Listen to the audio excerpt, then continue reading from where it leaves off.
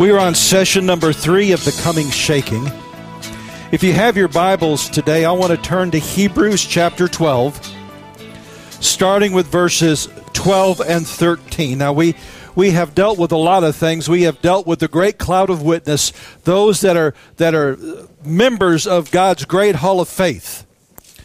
And they are an example for us so that when I have found, uh, at least in my own life here the last couple of weeks, just go once a week or even once a day and read Hebrews chapter 11 every day for a week or two.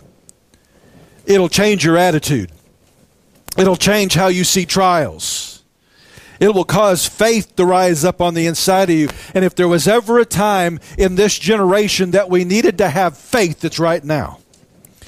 And then the writer of Hebrews says, not only have we this great cloud of witness that causes us to lay aside every weight that so easily besets us, he also says, now listen, sometimes there's persecution and sometimes there's chastisement of the Lord.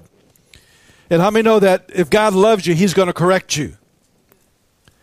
And so, with all that in place, we get to verses 12 and 13. And this is the job of the Christian community. Wherefore, lift up the hands that which hang down and the feeble knees, and make straight paths for your feet, lest that which is lame be turned away out of the way, and let it rather be healed. Now, what's interesting is when the writer of Hebrews says in this, let, uh, to lift up the hands that hang down and to strengthen the feeble knees, he's actually quoting Isaiah. And this is found in Isaiah 35, verses 3 through 4. I'll give you a minute here to define this because we actually sang part of that this morning when uh, I asked Brother Michael to, uh, to insert a song after that prophetic word that we have this morning. It says, Strengthen ye the weak hands and confirm the feeble knees. Say to them that are of a fearful heart, be strong, fear not, behold, your God will come with vengeance. Even God with a recompense, he will come and save you. You see, a lot of times when God shows up on the scene, and isn't that what we're really wanting? And, and, and this is some of the things that we're dealing with when the coming shaken. Almighty God cannot come that it doesn't shake things up. Come on now. We want revival, but we don't want the riot against the devil that comes with it sometimes. We want, we want that feel good revival, but we don't want the correction of the Lord to have sustained revival and to walk in His power. But listen, it's, it's a package deal. And sometimes God allows situations to happen in our life so that we look up and say, something's wrong. Have you ever been there? That no matter what you do, it's falling apart. And, and it's like, okay, I'm waking up now. I'm realizing somewhere I have wandered off the path of walking with God. And God's allowing these circumstances to come in to shake me and to wake me because I'm realizing that I have gotten off course. And that's because He loves us. And it says, listen, when these things happen or when persecution happens, Christianity is one of the most interesting faiths in the world in that historically, and we can find this both in Judaism and we can find this in Christianity, we thrive under persecution. We thrive. You see, that, that's something I think the enemy thinks in this generation. He has us so weak that he thinks that we're not going to thrive, we're going to buckle under. But let me tell you something the remnant, those that really know God, that really have a salvation experience, when they come under persecution, they rise up to the situation. They will not yield. You can turn a Pee Wee Herman that believes in Jesus and put the persecution on him, and if the devil's not careful, he'll end up being a Marine in the kingdom of God. The church, under Roman persecution, while their leaders were being crucified, the pagan world said, Is this not the ones that have turned the world upside down? And right now, the way the word's being preached and the things that are going on in the body of Christ, we couldn't turn a chair upside down, much less the world. And that's one of the reasons why God is letting some of the things happen. It is judgment on us because we have been asleep and we, we have allowed this displacement that sin has replaced righteousness, that, that wickedness has replaced holiness. But when we wake up and we begin rising up in who we are, God says there's some shaking going on. There's going to be a transition. So when those things happen, when the persecution comes, God says now it is time to, to understand the correction of the Lord. One of the reasons that ISIS is growing the way that it is is Christianity has ceased being the leading influence in the earth. We have allowed the mystery religions to do their work, to weaken us, to pollute our airways, and to pollute our testimony. And it's time to come back to a holy faith, to a true faith to the Word of God. And it's time to push them back for a while because I don't think it's quite time yet. That's what that prophetic word was about. They think they have it already. And I, I don't you just love God? The elite think they have everything in place and then He delays their plans. He does it for two reasons. Number one, He does it for our sake especially if we're not ready yet. We're still trying to wake people up. We're still trying to get people to understand their Hebraic heritage. And I'm really getting tired of Christians fighting for pagan things. I mean, now it's we got Christians fighting for Rudolph and for Santa Claus and for Frosty the Snowman. How off have we gotten? Last time I checked, none of them are in the Word.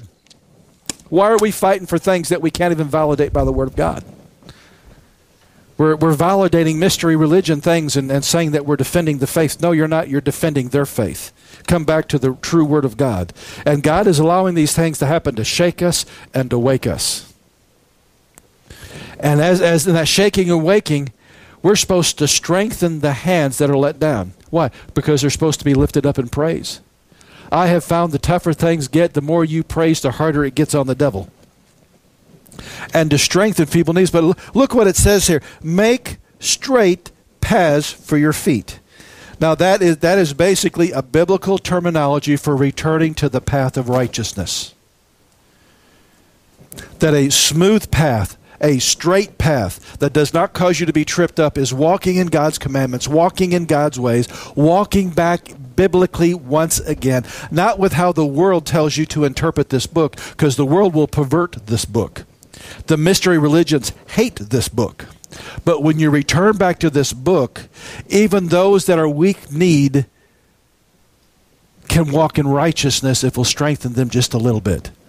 Walking the ways of God are easy, but sometimes they're hard when the whole world's walking the other way.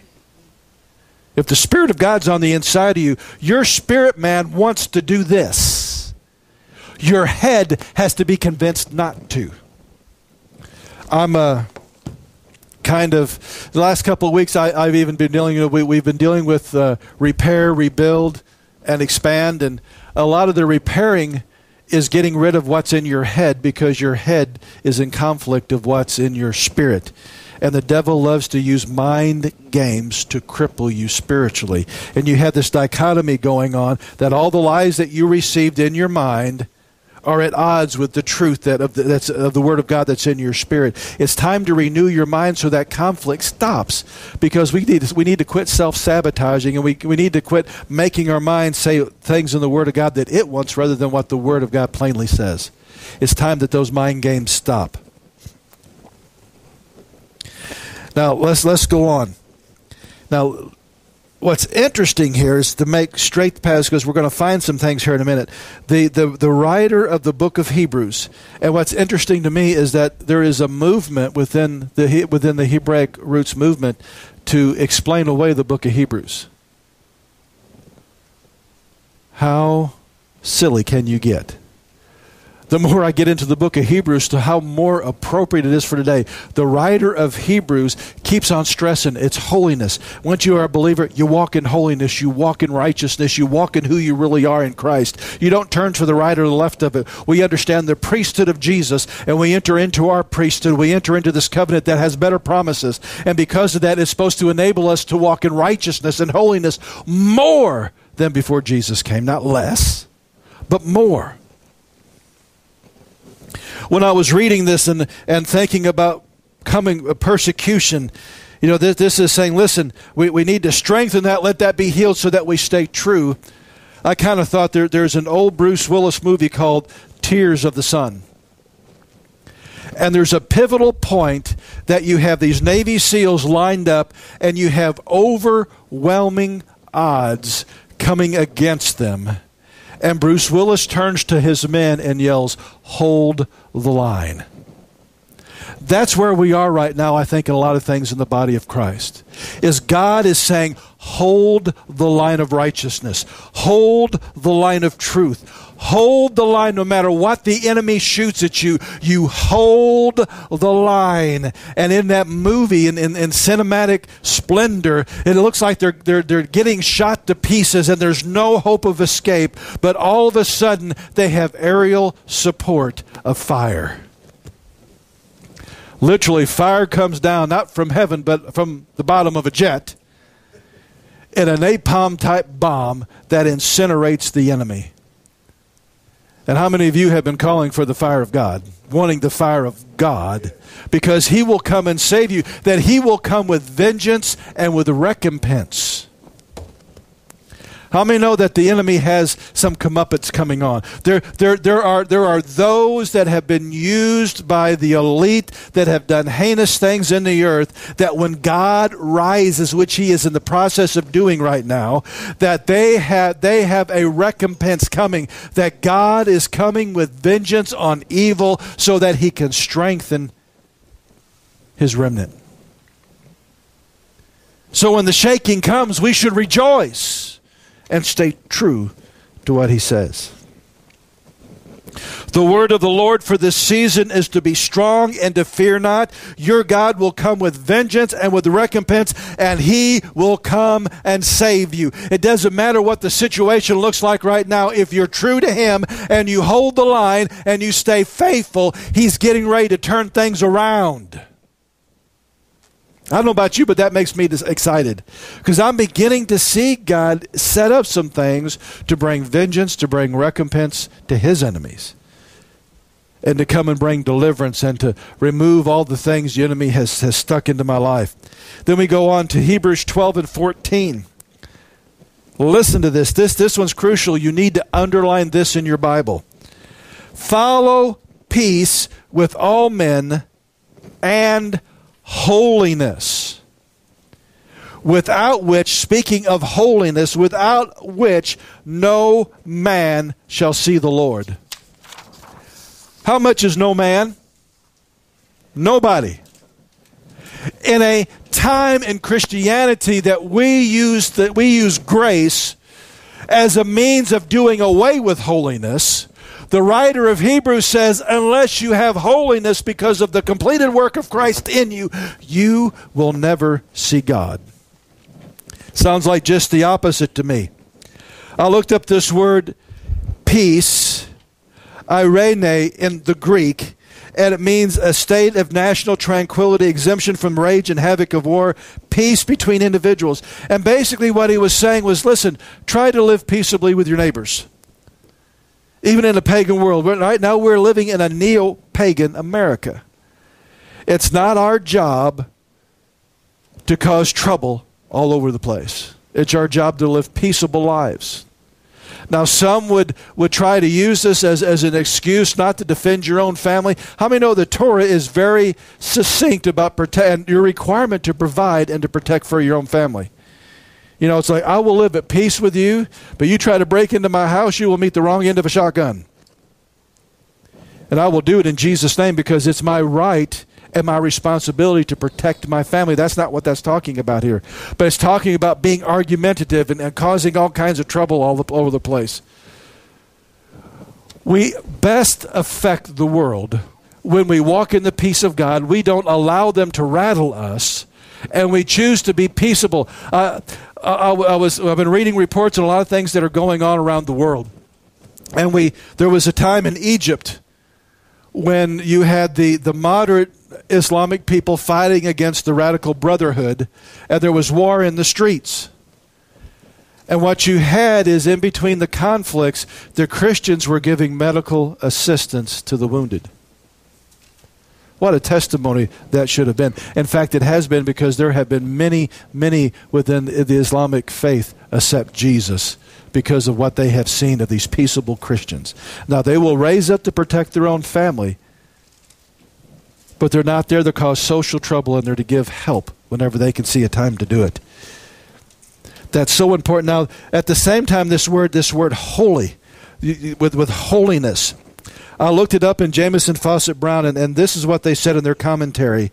This is a distinct Greek word from God's holiness in, in the Hebrews 12.10, translated here as sanctification in, in the version that they were using. But here's what it refers to. He is absolute holiness. Almighty God, absolute holiness. He is the thrice holy God. That holiness is his supreme character. Love has got to bow the knee to God's holiness. God is only once loved, but he's thrice holy. That's why God's holiness demanded the cross. He couldn't just forgive it without the shedding of his own blood. And then he goes on to say, he says, Our part is to put on his absolute holiness. Well, that doesn't sound like the grace preaching today that you can just get away with anything, that God's got to accept you now because of grace. The writer of Hebrews uses the specific Greek word for holiness that we, uh, that our part is to put on his holiness, becoming holy as he is holy by sanctification. in times of spiritual conflict, you don't lower the requirements for holiness, you raise them. Because a lack of holiness in spiritual warfare, we call it an open door. That when you have sin in your life, and sin is defined in the New Testament as the violation of God's commandments, they become open doors the enemy can use to attack your life. When I walk in holiness, I'm systematically shutting all those doors and putting the blood of Jesus over those doors. And, and Almighty God says, Devil, those doors you can't go through because they're under the blood. That's why as the day approaches, as the end times approach, we're not we're not looking for ways out of holiness of what the word of God describes as holiness. And I'm not talking about women putting their hair up in buns and not wearing makeup. All that is silly external stuff. It's the holiness of the heart and the conduct and of our minds. Going back to what God says, these are righteous acts, these are unrighteous acts. You avoid the unrighteous acts no matter how much you get in the flesh. You avoid them like the plague. You crucify the flesh and you do what God's word says regardless of how you feel. That's faith. That's holiness. Did I do it not to be acceptable to him? How many know the cross made me acceptable to him? I do it because I have I have accepted him and the cross is enough and the price he paid is enough. And now because I have been made acceptable in the beloved, I honor him by walking in holiness. So crucial. Listen to the way the Amplified translates this strive to live in peace with everybody and pursue that consecration and holiness without which no one will ever see the Lord. Now, how much more eh, how much more plain can you get than that? Believer, I don't care what they're preaching on Christian television, that if Jesus is really the Lord and Savior of your life, you walk in holiness, and Jack, if you're not walking in holiness when he comes, you will not see him.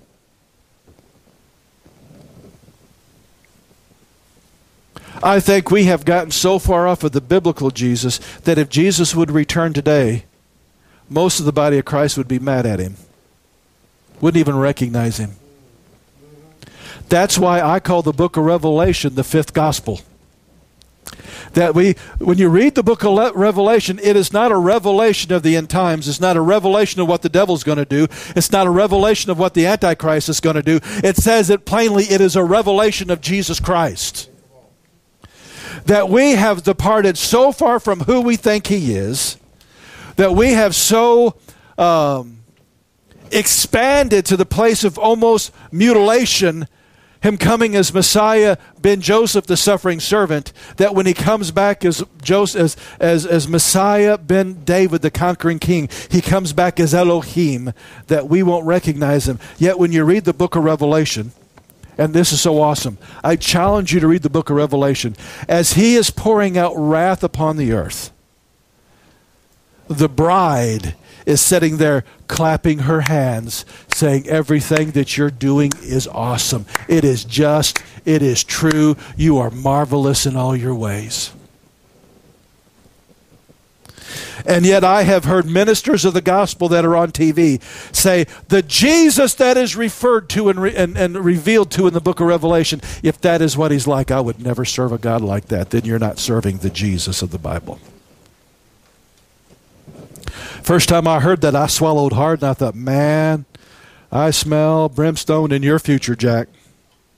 Why? Because you're not following Jesus. You have made a representation of Jesus that your flesh can tolerate, and you have set that up as an idol. And you are worshiping him. You are not worshiping the Jesus that walked the streets of Galilee, that walked and healed the sick and told people when they healed them, go and sin no more. He didn't go and say, just wait a year or so, my grace will cover it, then you can go back to living the way that you were. Just go to church on Sunday and give a good offering, okay? He didn't say that. He said, Go and sin no more unless something else worse comes upon you. And I wonder how many believers don't realize that by the teaching of hyper grace today, how many things worse are getting ready to come upon them because they have left the ways of God. Let's go on here with verse 15. Now we're getting ready to get into the good stuff. The good stuff, yeah the good stuff, because it's going to open our eyes to, understanding. Looking diligently, lest any man should fail of the grace of God. Now, I've never heard that preached. That you can fail God's grace. And the writer of Hebrews is saying here, let, look diligently that means to look extensively and thoroughly and very hard to, to really go through with a fine tooth comb to be a nitpicker about yourself, lest you fail in grace. Now, this Greek word for fail means to fall behind, to come late or too tardy, to be left behind in the race and so fail in reaching the goal to fall short of the end. Metaphor, to fail to become a partaker of. Well, I thought once you got in grace, you couldn't get out of it, but yet the book of Hebrews says that we can fall short. In a time that we're preaching hyper grace, the very doctrine of hyper grace is going to cause you to miss the mark when it comes to grace. Isn't that a paradox? that we have so extenuated and expanded the definition of grace that we have left the very biblical definition of grace, and now we have set up on a, a, a altar a false grace. You know, that's very Luciferian. One of the revelations that I've come across that, that I, I put in my new book is that how many times did Lucifer say, I will, when he fell? He said it five times. Five's the number of grace. Lucifer created a false grace to cause himself to ascend to become equal with God.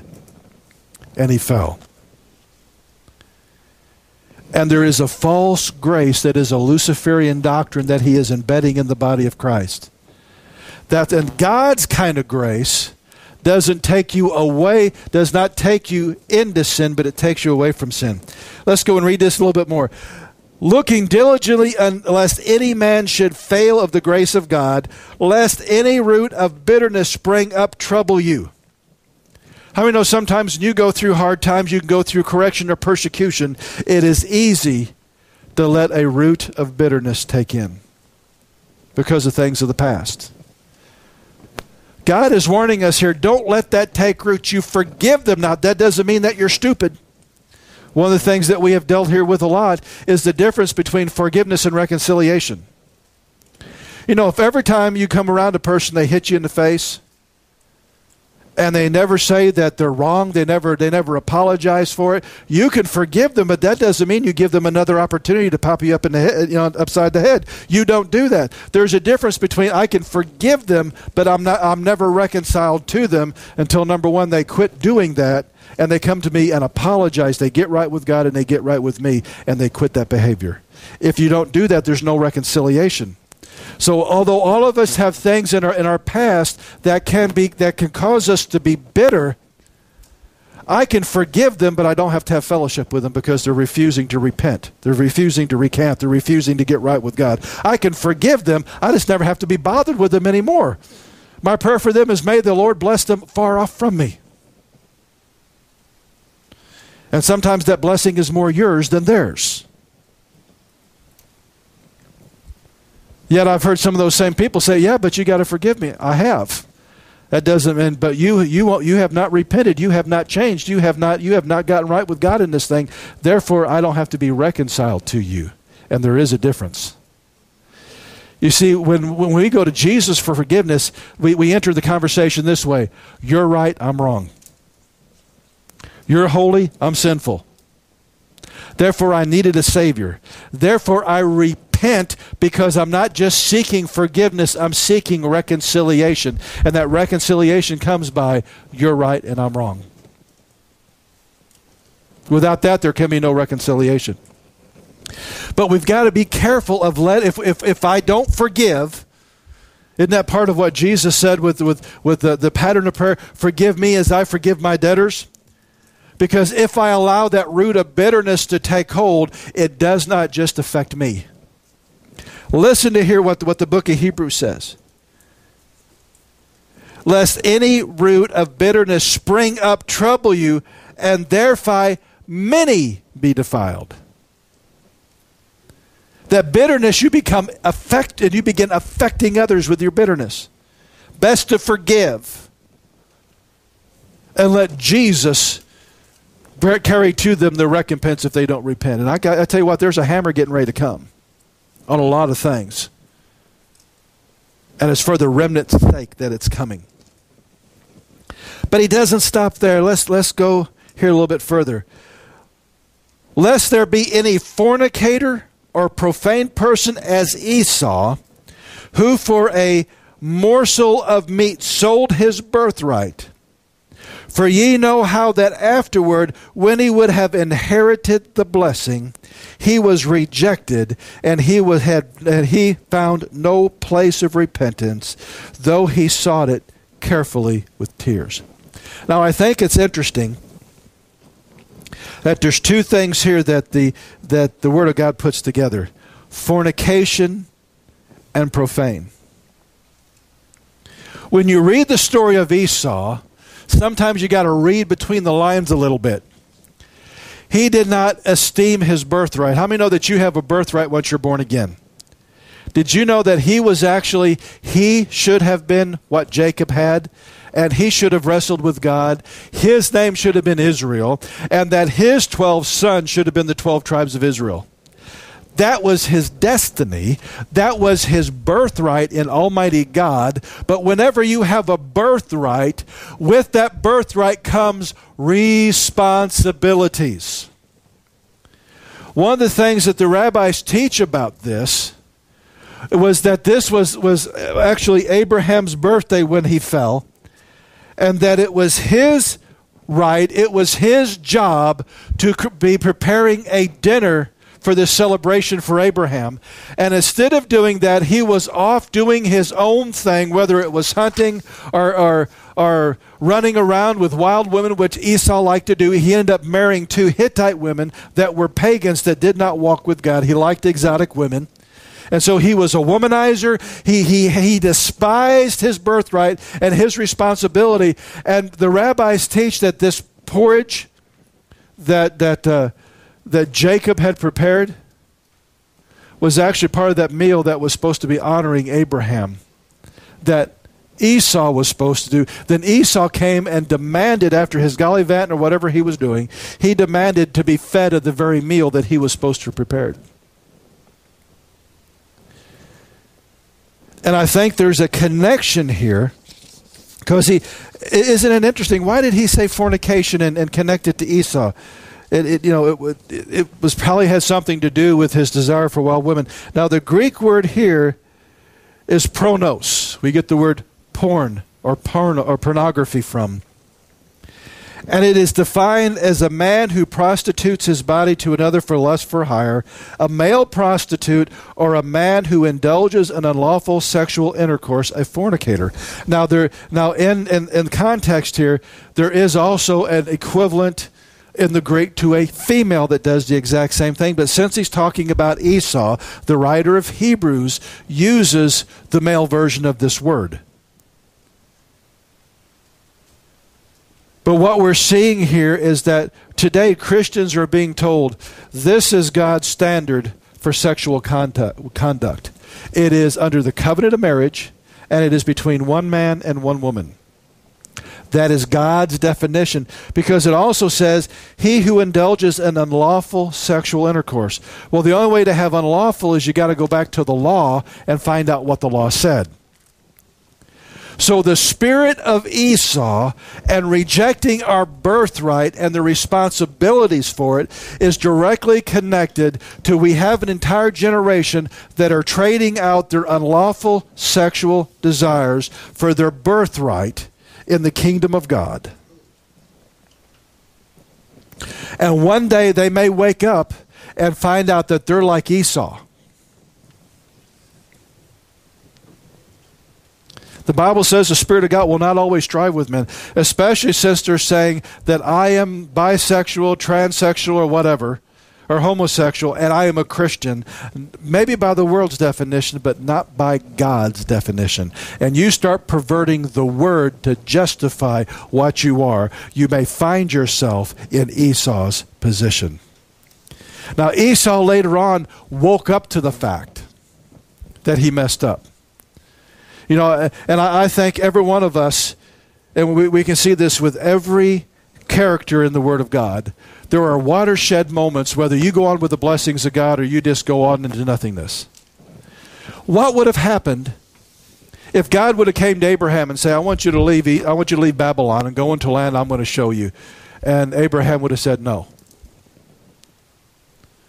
What would have happened when he said, "I want you to give your only son, the son of promise, Isaac, on an altar"? And God said, No. Our, our Abraham said, No, I'm not going to do that. You gave that son to me, and I, I've been believing for my entire life for this son. I'm not going to kill him. We don't understand in covenant, that's what opened the door when he was willing to give Isaac on the altar, his only begotten son, the son of promise. It opened the door for Jesus to come and die on the cross in our behalf. Because that's the way covenant works. What would have happened if Abraham would have said no? God would have set him aside and found another. And we see biblical character after biblical character. David could have been the man that built the temple instead of Solomon because he desired Bathsheba and set up a situation that her husband would be killed so that he could lawfully take her after already committing adultery with her. He was a man of blood. It was not because he was a warrior like many suppose that he had because all all of God's people, every man had to serve whenever there was a conflict. All men were men of war. God said he was a man with blood on his hands because he set up for an innocent man to die so that he could have his wife. And that was a watershed moment for David. And after that, a lot of things in his own family and things began to go downhill. We need to take note of this because I think every one of us have this pivotal moment. It may not cost us our salvation, but it costs us our birthright. It costs us the blessing that we get to that place where God says, Come on, come on, make this right decision, crucify your flesh, do what my word tells you to do. And when you do, there will be the greater blessing released. But we don't want that blessing because it always comes with responsibilities. I've got to walk a tighter line. I've got to walk according to the word of God. I've got to crucify the flesh. I don't want this Christianity that I've got to crucify the flesh and actually do what the word of God says. I would rather begin explaining away the word and say that I can still walk with God and live however I want to. You may find yourself like Esau that even after you awake, it may be too late. How many know you can go so far that you go past the point of no return? That's why that, that's why I cringe at the way people preach once saved, always saved. And I've heard preachers get up and say, you know, I'm saved, but I go out here and commit murder and, and commit adultery and everything else, and I'm still going to heaven. Jack, you may find you're not because by doing those things, you have proven that you have not come under grace. Come on. Someone in grace doesn't follow that path. You fell short of the grace of God. The grace of God empowers you never to do those things. You crucify the flesh. I think this warning is clear with the coming shaking that's coming that as we enter into the last days that we do not take our faith lightly. Everything going on in America today is challenging your faith, is challenging the publicity of, of Christianity. God is calling us to be faithful, to seek peace, to walk firmly in holiness, and to stay faithful to the one who gave his life to save our souls. That's where we are, guys. We need to determine the just shall live by faith. And the Hebraic concept of that is I will live by my faithfulness to the covenant. That's our decree. That that's and guys, if if I went to the next part of it, we'd be here for another hour. So I'm gonna we're gonna put a pin in this right here, and then next week we're gonna get into the shaking. We're gonna get into the difference of coming between coming to Mount Sinai and Mount Zion. And you want to know the truth? When you really understand Mount Zion, Mount Zion is more terrifying than Mount Sinai. We think we can just skip and, and, and, and go through the daisies when we come to Mount Zion. With Mount Zion, there's a bigger birthright. Therefore, there's more responsibility. And God, let us never fall short. I pray for everyone who listens to this. God, I ask that you would give us an anointing that we would never fail the grace that's been given to us. But Father, we would thrive in that grace. And by thriving in that grace, we walk in, in true biblical holiness to honor the God who is thrice holy that came to save us. In Jesus' name.